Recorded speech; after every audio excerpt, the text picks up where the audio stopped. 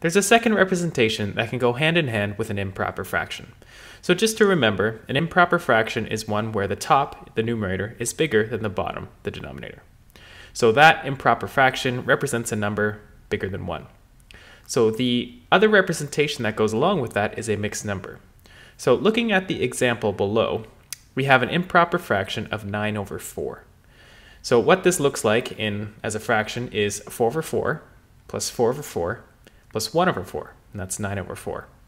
However, for using mixed numbers, we can then take the 4 over 4s and make them just solid ones because they're a whole. So then you can have 1 plus 1 plus 1 over 4. And that gives you two wholes and 1 over 4. Or if you're saying it as a mixed number, it's common to say 2 and 1 over 4. And that's a mixed number or a mixed fraction.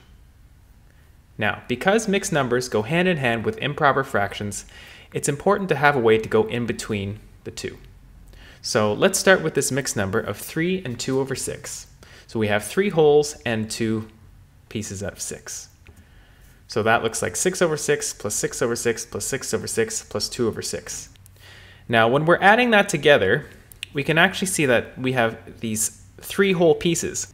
But that means we have 6 pieces each time we have a whole. So 6 plus 6 is 12, plus 6 more is 18. So those three wholes really come down to being 18 pieces. Then plus the other two pieces we have from the fourth whole gives us a total of 20 pieces. We keep the bottom, the denominator, the same because that was the overall subdivision that we were working with, 6.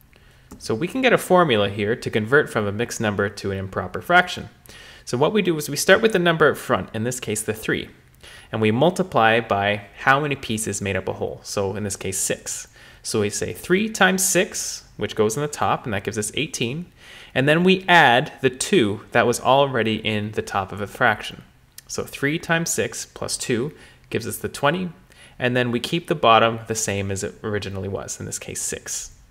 So if you do that same process each time you want to go from a mixed number to an improper fraction, this will always work and you don't have to draw out a picture or a diagram to help you figure out what that is. So just to go through that formula one more time with a different example, let's take a look at 2 and 1 over 3. So we start by taking the 2 out front and multiplying by the 3 in the bottom, and then adding the 1 that was already there. So 2 times 3 plus 1 in the top, and then we keep the denominator the same. So 2 times 3 is 6, plus 1 is 7, and then we keep the 3. And that answer matches what we see with the picture on the right. Now, to go the other way around, if you're going from an improper fraction to a mixed number, we have to use a different process. So the first thing we want to do is divide the 29 by the 8. So there's a couple of ways to do this. The first way is to use long division. And the long division looks like this. So 29 divided by 8, we ask ourselves, how many times does 8 go into 29? It goes in 3 times. So then we write 3 times 8 is 24, and then we do the subtraction to figure out what's left over. So 29 minus 24 leaves us with a remainder of 5. So now that we've finished the long division, what we call the quotient, the whole number part of our division, becomes the whole number part of the mixed number.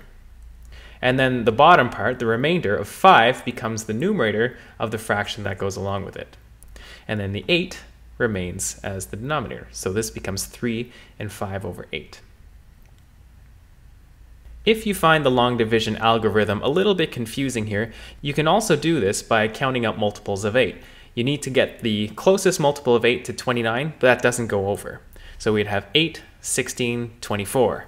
So that's 3 eighths. So then what's left from 24 to 29 is 5. And so we get the same idea of quotient and remainder, but we don't have to use a long division algorithm if you're not comfortable with that.